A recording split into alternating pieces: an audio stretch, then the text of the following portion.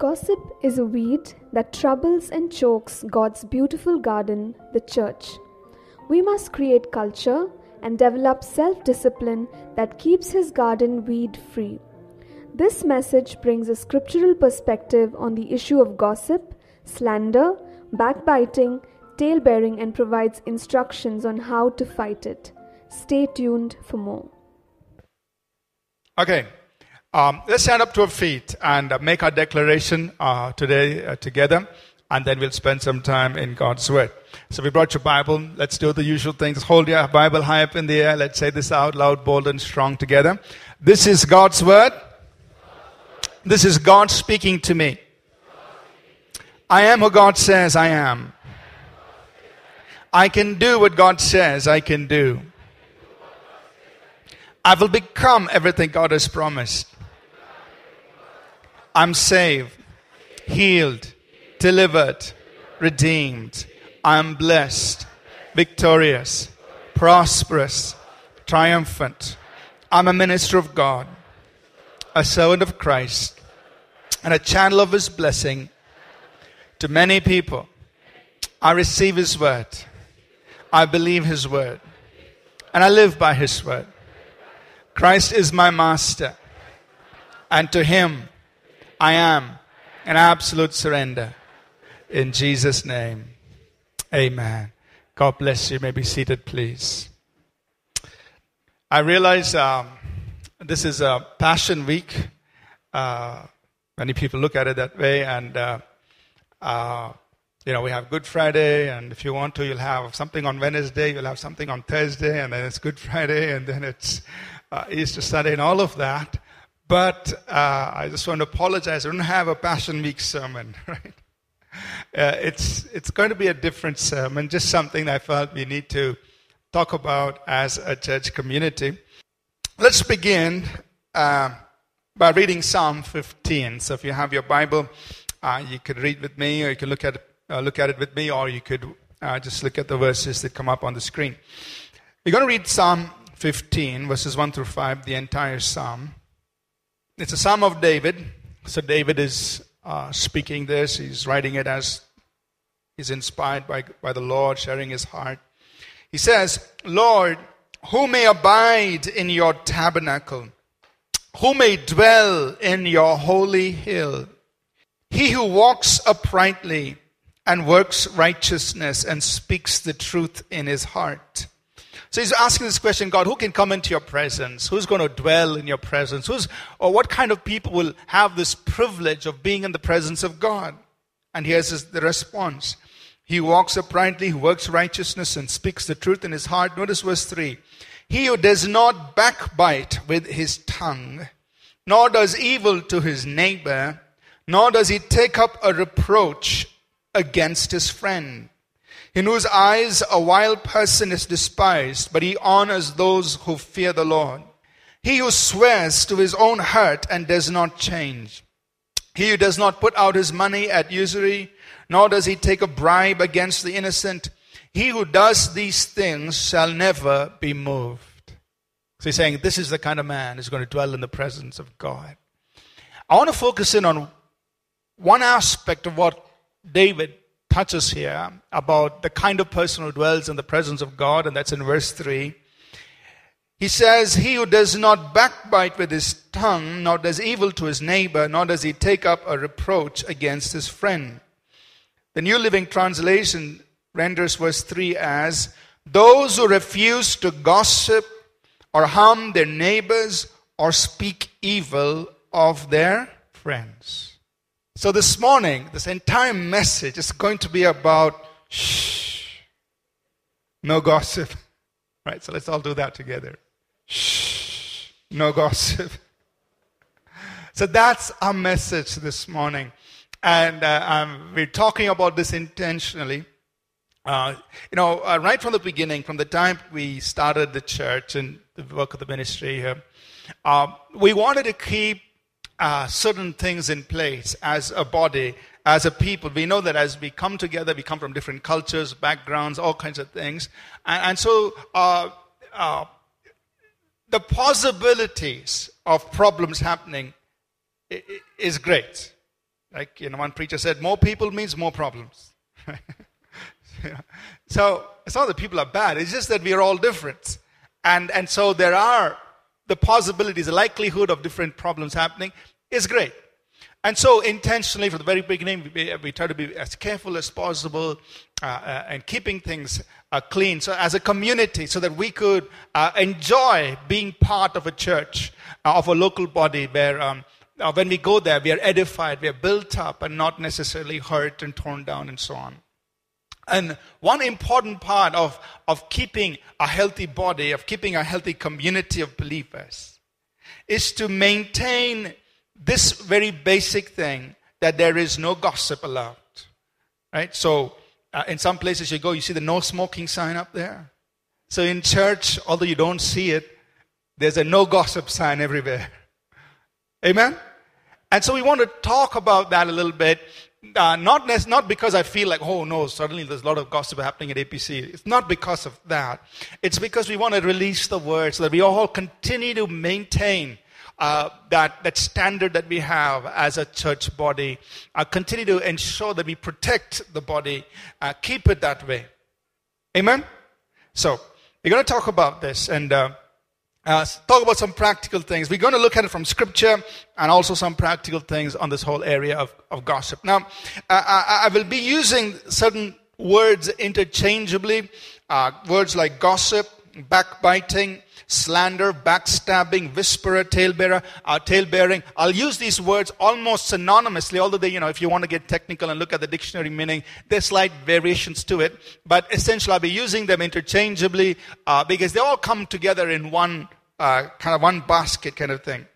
Uh, the New King James, for instance, uses the word talebearer um, uh, for what we would call as gossiper or backbiter or slanderer.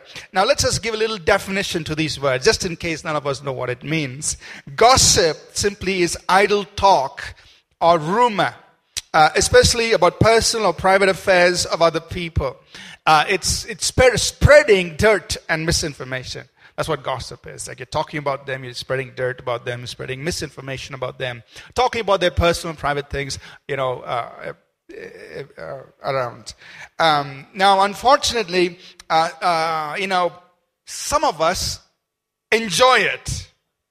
And we enjoy this thing. I mean, yeah, yeah. What's the latest gossip? You know, what's what's the latest news about so and so? And it's kind of like it's the way to pass time. Uh, Proverbs 18 and verse 8 says, "The words of a talebearer are like tasty trifles, and they go down into the inmost body." Or um, the New Living Translation renders it like this rumors are dainty morsels that sink deep into one's heart. You know, some people just really, they just take it in and it goes right in. You know, they're waiting. For them, it's like they had their full that day when, you know, they spent an hour in gossip or whatever. It's like dainty food. Backbiting is, is malicious talk about someone who's not present. Um, you're harming someone else's reputation uh, without giving them a chance to defend themselves. That's backbiting. Literally, you're biting their back. You know, uh, backstabbing is kind of similar. It's criticizing someone in a treacherous manner, even though you pretend friendship in front of them. So you're pretending friendship in front of them, but really you go behind the back and you stab them, you, you destroy them. Uh, slander uh, is making false, negative, malicious, defamatory statements or reports about someone else, is slandering them. Um, tattletale or talebearer uh, is one who reports the wrong things of others to an authority, uh, usually with the intent of getting them into trouble and not to resolve a problem. You know, kids are kids do this a lot. Daddy, you know what she did? You know, and, and usually it's like, I want you to get, I want to get him into trouble. So that's kind of tattletaling, but you know, even adults play these games. And, uh, and, and, and, the intent is not to solve the problem, but to get the other person in trouble, being a tail, talebearer. Now, what's interesting is, is, is, just to look at what the scriptures say about these things. Way back in the Old Testament, as, as God was setting some things in place uh, for his people, for the, for the community life, uh, here's what he said in Leviticus 19 and verse 16. He said, you shall not go about as a talebearer among your people, nor shall you take a stand against the life of your neighbor. I am the Lord. So he says, now this is the Old Testament. And God is saying, when you're all living together as a community, don't go about as a talebearer among your people. Or the Living Translation puts it like this Do not spread slanderous gossip among your people. Don't go around doing this. This is not good for the community life. Don't do it. Don't stand up against your own friend. Now, as we talk a little bit about gossip here, let's just also say what gossip is not. Uh, uh, in an attempt to say no gossip, uh, we should not go to one uh, the other end where we never point out faults and address issues that need to be addressed. So let's clarify that. Let's talk about what gossip is not, just to uh, give clarity. There are times when you know we would uh, have casual talk or sharing of information without demeaning someone. So you're talking about somebody else, of course, but you're not talking to demean them. You're saying, hey, did you know so and so got a new job? That's not gossip. It's, it's like, wow, that's good news. I'm, I'm sharing it with you. Uh, he's got a new job. Or, uh, did you know so and so, you know, he got 95 in all his exams. Whoa, it's great. so that's good news. You're sharing something. That's, that's, you wouldn't put that as gossip because you're not demeaning somebody. You're just sharing good news. You're, you're passing on some good information about somebody uh, and so on. So that would not be considered gossip. Or sharing about a certain experience that may include what others said or did, where you know you went to meet somebody and they said this and they shared their experience and you had a very nice, meaningful time with them. And you're telling that, you know, I went and met so and so, it was a great time, we spent an hour together. You know, that's not gossip. You're you're just sharing about your experience. You're telling that, uh, uh, you know, what, what, what happened and so on. You're not gossiping, but you're sharing something positive. You're not demeaning them. You're not putting anybody down. You're not uh, slandering anybody. So that would not be considered gossip. Or, uh, thirdly, an assessment of experience evaluation on individual situation professional. Now, we do this all the time. Uh, as professionals, you have to assess people's work. So, if you're the team leader, you're reporting back to your manager, you sit down and you're discussing each member in your team, you have to say, very honestly, you have to say their positives and their negatives. Now, that's not gossip, that's professional. You are, you have to say what their strengths are and what their weaknesses are, whether, where they need improvement or what their capacity is, where they cannot you know, they've reached the limit or they can do these things, they cannot do those things. So we would not consider that gossip. That's honest evaluation of uh, an individual and that has to happen in, uh, uh, in professional settings and in other ways. Or you're doing an interview of a person, you need to go back and give HR your appraisal of that uh, person, that interview, or whatever you, you know, that interaction. And you have to speak honestly, of course, uh, for the benefit of your organization. Number four, uh, when you're seeking to get a matter resolved, when your intent is to get a matter resolved, like it says in Matthew 18, if you've got something against somebody, go and you know discuss it with them, or go and discuss it with a few elders in your church. So when you go and discuss it with your elders in the church, you need to tell exactly what happened, and uh, you're doing it for in order to resolve the situation. Now you would not consider that gossip, but you are you're presenting information in order to see a solution. Now, if your intent is to malign or backbite and, and demean the other person, then that would not be uh, the right intent. But when you're talking about uh, solving a problem, and so you, like it says in Matthew 18, you sit down, you say, these are things that were done, um, that would not be considered gossip. Number five, uh, when addressing a matter whether it's sin or wrongdoing, like the bible talks about in james 5.16 confess your faults to one another or in galatians 6 if a brother is overtaken in a fault that time you need to go. You need to talk about the mistake. You need to talk about the wrongdoing. You need to address the issue. And uh, your whole objective is to see healing restoration. Uh, that would again not be considered gossip. Uh, number six another situation would be in exposing wrong so that people will not be led astray. The bible talks about this in in Ephesians 5.11 and 1 Timothy 5.20. In Ephesians 5.11 it says, you know, uh, some of the things unbelievers do, you're not, it's, it's, you, the light exposes them. So the light of God exposes them. You need to expose something that are wrong so that other people don't fall into the same thing. So you expose that, but your intent is to protect people, not to demean somebody or something. Similarly, uh, when somebody sins 1 timothy 5.20 says if somebody is sinning you rebuke before all so that others also may fear and not follow that same example. So in an extreme case when, when correction needs to be done uh, you, you do that right? So these things would not be considered gossip. But in other cases when, when the intent is, is, is really to put somebody down to talk how bad they are to demean them uh, to backbite, to backstab, are those things God says you will not be a talebearer among my people. You all with me so far? Amen? All right. Uh, what are some common situations where gossip happens? Community gossip. Now, in any community, whatever it could be, uh, people talk. Gossip happens. Now, we do need to talk. We do need to spread news. Uh, for instance, as a local church, we are a community. We are all connected to each other. Uh, you may not know everybody in church, but you probably know 10, 15 people that you're connected with. That's your little community in a bigger community of the local church. So people talk. And the Bible does tell us certain things. For example, Romans 12 15, the Bible says, Rejoice with those who rejoice and weep with those who weep.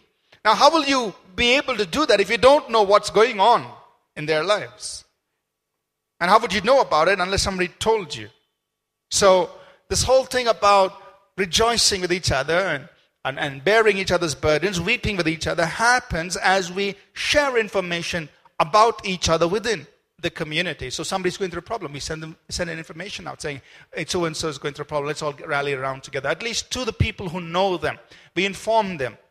Uh, let's get together. Let's you know reach out. Do whatever you can. Pray, call, visit, do something to show that you're weeping with them or you're standing with them through their difficulty. So uh, news does spread. Information does spread in any community. Or like the 1 Corinthians 12 26 brings out the same thing. It says, if one member suffers, all the members suffer with it. Or if one member is honored, all the members rejoice with it. So we learn to rejoice. We learn to uh, uh, be there for each other. And, and that's possible only as we spread information. But we are doing it with the right intent. You with me so far? We are doing it with the right intent so that we can either rejoice with people or we can suffer or we can endure and, and uh, weep with them, that is, take up, uh, share in their burdens. But we must make sure that news within the community doesn't spread with these wrong methods or ways or intentions, which is gossip, slander, backbiting, um, tale bearing. That we will not allow. In the New Testament, Paul addresses that in many local congregations. For instance, when he's writing to the Corinthians, and the Corinthian church was a very spiritual church, but I think it must have been very difficult to pastor a church like that. They had lots of issues. Very spiritual, but lots of issues happening. And, uh, and Paul, the apostle, is writing to them, and he writes this in 2 Corinthians 12 and verse 20. He says, For I fear lest when I come, I shall not find you such as I wish, and that I shall be found by you such as you do not wish. In other words, when I, I don't want, you know, when I, I'm afraid that when I come, I'll find you in a, situ- in, a, in, in, in, in a manner which you don't want to be found, and I don't want to find you in that way. He says, Lest there be contentions, jealousies, outbursts of wrath, selfish ambitions, backbitings, whisperings, conceits, and tumults. You know, there's problems going on there, and some of them that he was referring to there is whispering and backbiting, the issues going on in that little in that church there. He says, I don't want to see these things among you as a people. So you understand the Corinthian church. There were people who came from really rough backgrounds. Uh, Corinth was uh, uh, a, a, melting pot where people came in there with, with all kinds of backgrounds, all, a lot of things happening. A majority of the church that came in there were, were from very really difficult backgrounds. Whereas Paul writes in 1 Corinthians 6, some of you were like them, and he, he lists all kinds of wrong things.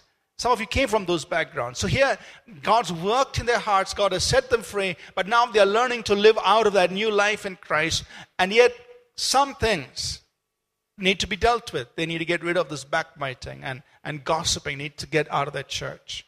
When he writes to the Ephesian, to the Ephesian church in, uh, in 1 Timothy chapter 1, verse 5 and 6, Paul says, Now the purpose of the commandment is love from a pure heart, from a good conscience, and from sincere faith, from which some, having strayed, have turned aside to idle talk. He says, Look, what's the purpose of our faith, of, our, of the commandments God's given to us? What's the purpose? It is for us to love from a pure heart, to live a life from a good conscience, and to have sincere faith. But when people leave this, they go away from love, their faith, and go away from it. What do they end up doing? They end up in idle talk, just gossiping, doing things that really don't amount to anything. And he, to the same church later on in 1 Timothy chapter 5, verse 13, he is speaking to young widows. And uh, I, am going to read these verses not just for young widows, but uh, the, the, intent of that verse uh, uh, is what I want us to grasp. He says that when people become idle, they begin to in, indulge in gossip and say things they ought not to say. 1 Timothy 5:13. He says, "And besides they learn to be idle, wandering about from house to house, and not only idle, but also gossips and busybodies, saying things which they ought not." So, what happens when you're idle? Just wander from coffee day to coffee day. Just chuma talking talking about things that, you know, that is gossip and busybody means, you know, you're not minding your own business, you're trying to solve everybody else's issues. Busy being a busybody. And you're saying things which you ought not to. So what's the solution for gossip? Go get a job, you know. Get a life, you know, do something real, do something meaningful. Uh, don't be idle. Because then you have too much time in your hands, you don't know what to do. You go around just talking, being a busybody, and so on. So that's what Paul is writing to these uh, some of these believers at Ephesus. Same thing he writes even to the Thessalonians. You know, so imagine the church in Corinth, the church at Ephesus, the church in Thessalonica. He's addressing this issue of being uh, gossipers and busybodies. He writes the same thing in 2 Thessalonians 3 11 and 12. He, he rebukes those who, you know, doing the same thing. They are just going around being busybodies. He says, I command you that you, you, you get to work. Right? So, congregations, community life is challenged by this thing of gossip. And Paul is addressing it even in, in those days in his letters, saying, hey, we don't want this uh, in, our, in, our, in our churches, in our, in our communities of believers. Now, there are other places where gossip happens, um, workplace gossip. Now, that's pretty well known, right? It happens next to the coffee machine, or it happens near the restroom, or it happens near the cafe, or wherever, you know. Uh, uh, because we people spend we spend you know maybe five to six days of our lives at work, and um, gossip can happen there. Now, remember there, there is there is the proper use of evaluation and talking about others, which we've already covered. But usually, what happens in even in the workplace context is, you know, you begin to talk ill about your boss in order to put him down, make him look bad, or talk ill about your colleagues to others to put them down. And they're not around to defend themselves, not around to explain. So workplace gossip happens. But what happens in, an, in, in a workplace where there's a lot of gossip? You'll find that that environment is, is miserable to be a part of. Soon you want to quit. So you don't want to be in that kind of environment where people are talking about each other and putting each other down, backstabbing and backbiting. You're like, oh, I don't want to work in this kind of place. Right? And very often, good people leave. Not because the work wasn't good, but the environment was bad with all this gossip happening. So, uh, uh, those of you who are, who are responsible for workplace environments, one of the things that you need to guard about in your workplace is keep your workplace gossip free. If you want to create an environment, a culture in your uh, office or organization that, that people enjoy coming to, there's no gossip allowed here. Because eventually, good people will leave your organization not because the pay was not good, not because the work was not good, but because of this little thing called gossip. And then there's the other form of gossip, which some of us might be actually involved in. It's called the social media gossip. hey, did you know this, this, this? And, and, you know, if you're celebrating something, that's great. And, you know, the positive is good. But the negative, when you say bad about somebody on social media, it, it takes off. It goes like wildfire. You know, you just press post button and as soon as you press it, you don't know how many hundreds, probably in some cases, many hundreds, some cases, thousands, can actually view something that you've said. And in an instant, you can tear down somebody's character. You can tear down somebody's reputation. And they have no way to defend themselves because now it's gone all over. So you got to be careful. Even when you use social media, you can uh, uh, you can spread misinformation about situations, things so fast uh, and, and sometimes we don't even realize the impact of it. So, let us talk a little bit now about the negative consequences of gossip. What are the negative consequences? Why is it harmful? Why is it bad? And we've mentioned a few already. You know, first of all, time spent in gossip is unproductive, it's time that is wasted. That's why the Bible calls it idle talk. It's just pointless talking about people. You're, already, you're not solving any, any problems. You're not addressing the situation head on. You're just tearing people down. Uh, it's, it's wasted time. Secondly, gossip erodes trust when, uh, in a person. When their reputation is marred and their character is assassinated, they, they're destroyed. And they're, they're not there to defend themselves, they're not there to explain themselves. And people lose trust because of what you've said. Proverbs 11, verse 13 says, A talebearer reveals secrets, but he who is of a faithful spirit conceals a matter. A talebearer just, you know, he, just talks everything about whatever he knows.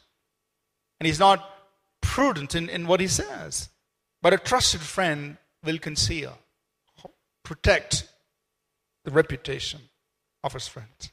That's a trusted friend, a trustworthy friend.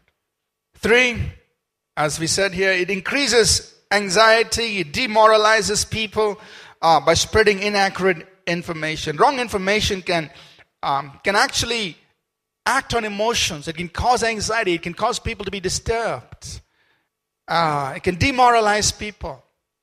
Just the gossip. I don't know if any of you have spent some sleepless nights just because of person A talking to person B about you. And it came to you through person C. And then you couldn't sleep that night. It, it disturbs.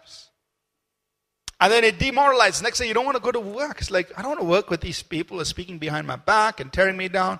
Don't want to. It's demoralizing. And imagine if gossip happens in a church community. What will people do? They stop coming to church. They don't want to be part of a community when these things happen. They'll go to bedside assembly. it starts when you want and it ends when you want. okay, some people are like, some people are like, man, what is that? You know? okay, doesn't matter. Uh, so that's why, that's a very important reason why we need to keep our community, our church, gossip free. We don't do this because we want people to come and enjoy being a part of a, a body of believers who value one another, who, who uh, learn to love each other, who you know, who rejoice with each other. We also weep with each other. We, we, we, we are there for each other. We don't tear anybody down. We don't destroy people behind in any way. Gossip also causes discord and strife, and uh, it hurts feelings and ill will and destroys relationships. The Bible says here in Proverbs 16 and verse 28 a perverse man sows strife, and a whisperer, that means a talebearer, a gossiper, separates the best of friends. To see the impact. Two people are really good friends. Somebody comes and puts some gossip in two best friends' hearts because of gossip, because of talebearing. Separates, breaks down relationships. Proverbs 25, verse 23, it says, The north wind brings forth rain and, an, and a backbiting tongue, an angry countenance, or the living translations, New Living Translation says, as surely as, as, as a north wind brings rain, so a gossiping tongue causes anger. It sows anger. You become angry with the other person. Do you know he said this and this about you? I said, You're angry about the other person without even knowing whether that's true or not. And uh, so relationships are bro- broken, causes hurt, ill feeling, the hearts of people. Proverbs 26, verse 28 Where there is no wood, the fire goes out, and where there is no talebearer, that is gossiper, strife ceases. So, how do you keep your workplace a pleasant place? Make sure you, the gossipers are not around. Right? Where there is no talebearer, strife ceases. Where there are no gossipers, you can make sure there will be no strife, there will be no discord, there will be the strength of togetherness, the strength of unity. You know, so um, think about even the emotional impact of gossip, even things that happen on social media, and, and, and some of you know you've been you follow you, you follow the news where some some teenagers quit school, leave school in some cases, they've committed suicide simply because of misinformation spread about them by their friends on social media. I don't want to mention names and all that, but you've probably heard of all this. It's happened. Just that. And, and, and out of that, this whole thing came about, this whole term called cyberbullying came. And you've got websites dedicated for that.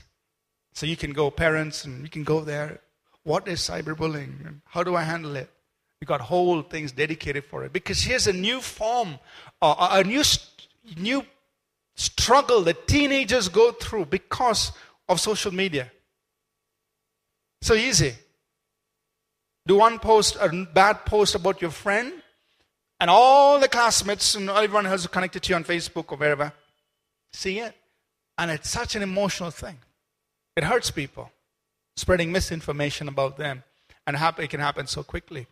Uh, and I, I, don't want to kind of talk too much about this, but uh, in the March 2015 TED Talk, Monica Lewinsky talks about all that she's been through. Now, this is uh, several years back, but her, her whole, uh, uh the program there was called uh, The Price of Shame.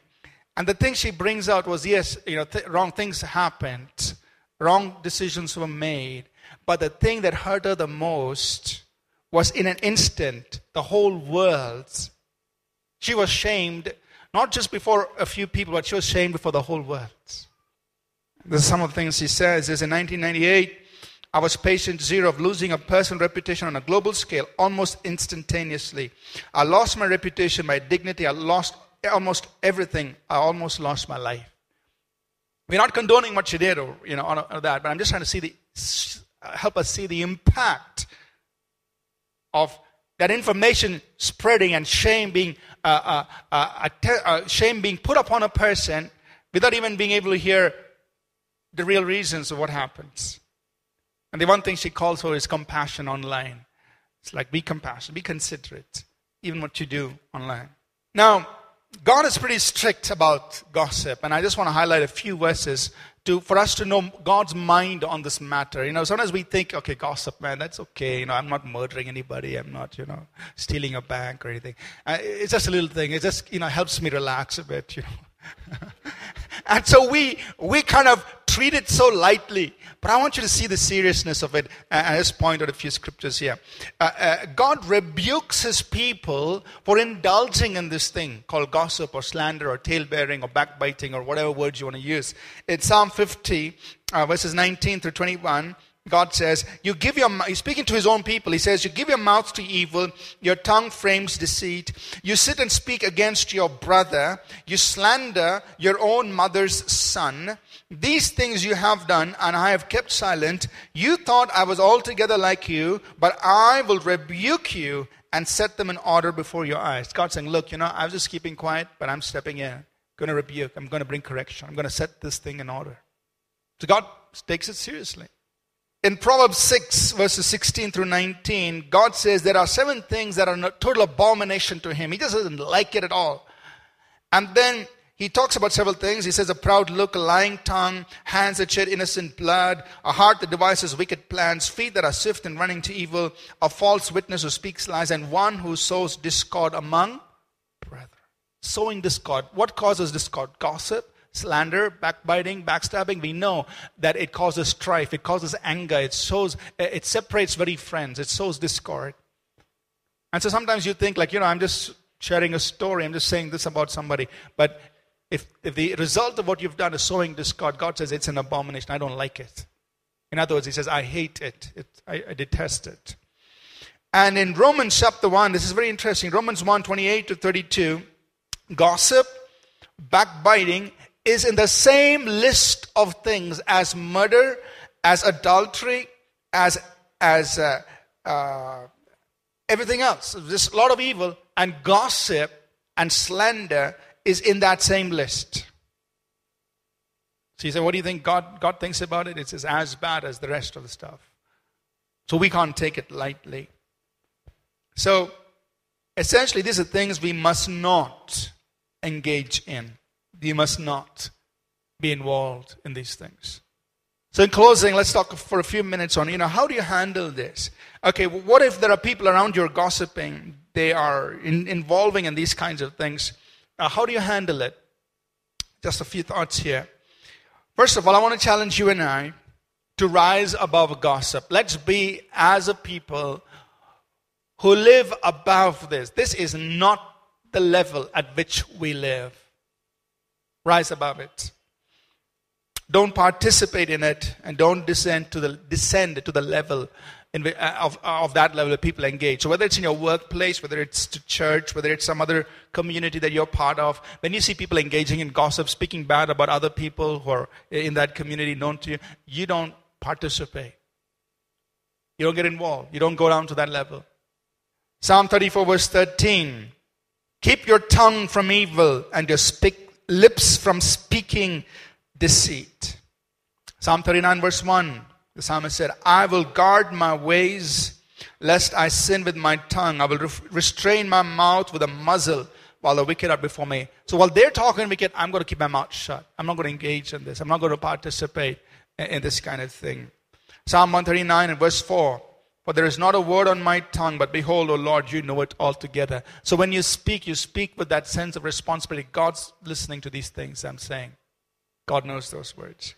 Second, is confront lovingly if possible. When you know somebody's doing this, involving, suppose you're in a group and somebody starts this, you, you, you, you stop it lovingly. Say, hey guys, uh, let's, not, let's not go down that road. Let's not engage in that. Do it lovingly. Uh, hey, let's leave that person out. Let's not talk about it. So you confront it lovingly. Or if somebody else is actually spreading the gossip and you know who it is, you go to that person, say, hey guy, I know I've heard that you know you've been doing this, can you please stop it? It's not helping people, it's not helping anybody. So you confront it lovingly, you try to address the matter uh, so that the rumors stop. Another thing we can do is just let it die out. Don't fuel it. You don't go and pass it on. You be the person with whom it stops. Don't fuel that gossip. Let it die out. Another thing you can do is to pray. And if you're a victim of slander or gossip, just pray. Let God step in. Psalm 31, verses 13 to 16, the psalmist finds himself in that situation. He says, For I hear the slander of many. Fear is on every side while they take counsel against, together against me. They scheme to take away my life. So here he's, he's hearing the slander. He's hearing people say all kinds of things against him and, uh, and causing fear, and they, they're trying to do things against him. But what does he do? He says, verse 14, But as for me, I trust in you, O Lord. I say, You are my God. My times are in your hands. Deliver me from the hand of my enemies and from those who persecute me. Make your face shine upon your servant. Save me for your mercy's sake. Says, look, all these people are slandering. They're saying all these things against me. What, what am I going to do? God, my eyes are on you. My times are in your hands. Let your mercy shine on me. You save me. I remember a long time ago, I think maybe two, three years, two, three years ago, I don't remember exactly when, uh, something funny happened. It's kind of related. I don't know if it makes sense. But yeah, somebody called. They were attending APC at that time. They said, uh, I want to meet with you. I said, okay, you're welcome. Usually when people want to meet with me, I have them come and meet with me in the office. uh, just to save time. So I said, okay, I can give you a time. Said, no, I want you. I want to meet you at a coffee day. So you come and meet me in a coffee day. I said, okay, fine. So I went to the coffee day that they wanted to meet me in. I went there, and uh, to my surprise, uh, this person came along with, uh, I think, um, two or three other people were there. I said, okay, fine. Then he said, uh, You've been talking about me to all the other pastors in the city. And I was shocked. I didn't know this was the subject that we are going to talk about. And then he started mentioning the names of all these pastors, and then he gave a long list. And he said, You've been telling them this, and you've been telling them this about me. Uh, wait for, waited for him to finish and all that. Then I said, I want to say two things. First, of all the five or six pastors you mentioned, I, don't, I know only one pastor and all those pastors that you mentioned. I don't know any of the others. I never met them. And there's one pastor's name that you did mention. The last time I met him was seven years ago. That's the first thing. The second thing I, was, I told him, I said, I want you to know I'm quite busy. And honestly, I'm too busy. I haven't thought of you in many months. I told him that. Now, of course, they were attending APC, but I have to be honest, I don't know all your names. Uh, and I am not sitting every day thinking about each one of you, just in case. So I had to tell him that. I said, listen, I haven't even thought of you in so many months. So, where I'm too busy to go around talking to other pastors about you, I don't even have time to think about you. I told him that. And it came as a shock, but it also came as a shock to me. It's like, from where did all this come from? You know, how would people imagine these kinds of things? You know, they think I'm spending my time sitting and thinking about people in church. No, eh, life is busy. Got a lot of things to do, many more things to be done, right? So um, that was all. But then I, I learned just to, you know what? The moment I leave Coffee Day, I'm leaving this matter behind. It is so unimportant, I'm not even going to spend one more second thinking about it.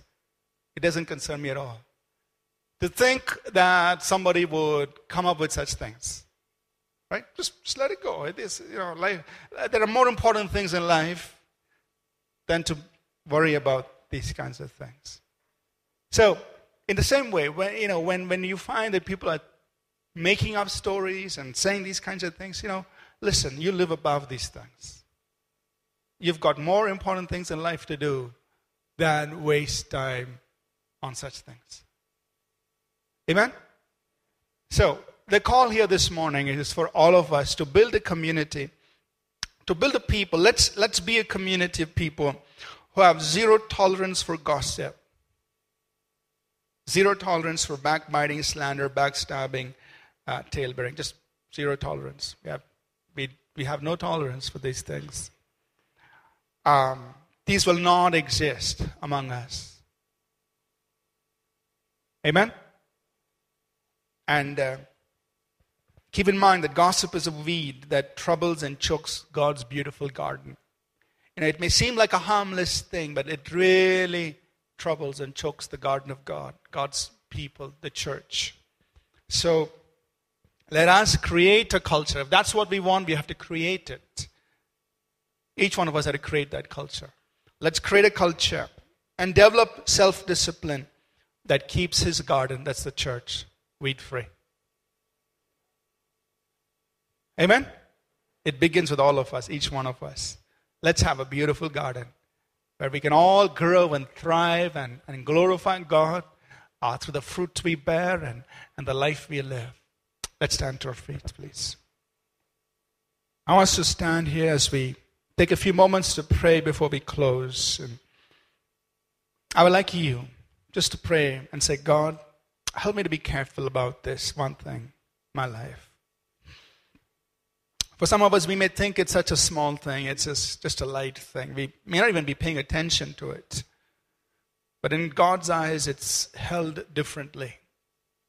This whole thing about gossip, about speaking bad about somebody else behind their back, not giving them, they're not there to defend themselves, they're not there to explain themselves. Do you gain anything out of it? No. Is this help the situation? No. Helping them become better? No. So then don't speak. Don't talk. So could each one of us standing here just pray before God and say, God, I know I've indulged in it in some way or another, not maybe, you know, sometimes unintentionally. Forgive what I've done. And help me, God, to be careful with my words. When I speak, I'll always do it to lift people up. I'll do it to in a right way, with the right intent. Even if I have to speak truth that hurts, let me speak it in love. Let me speak the truth in love. Love edifies, love builds up, love encourages. So let me speak the truth in love. Practice this for your home, for your family, for your place of work, for the church, any community that you're part of. Practice this. Father, we just pray for the grace that cleanses our tongue and, and helps us, Lord, to watch over our words and, and just to be gracious with our words, to edify people with our words, to even if it means to correct, to correct, Lord, to build up, even if it means to exhort, Lord, to do it in a way that will bless people. Give us clean hands, God. Give us pure hearts, and clean lips, oh God, we pray. And Father, we just pray that you help us be a body where people come in and are refreshed and renewed and built up. Because we create a culture, we create an environment where from the smallest to the tallest to the strongest, all of us can thrive in the house of the Lord. All of us can grow in an environment that's supportive, that's encouraging, that's loving, that's caring, God. Help us to create that environment with the words we speak, with the way we speak. We thank you, God.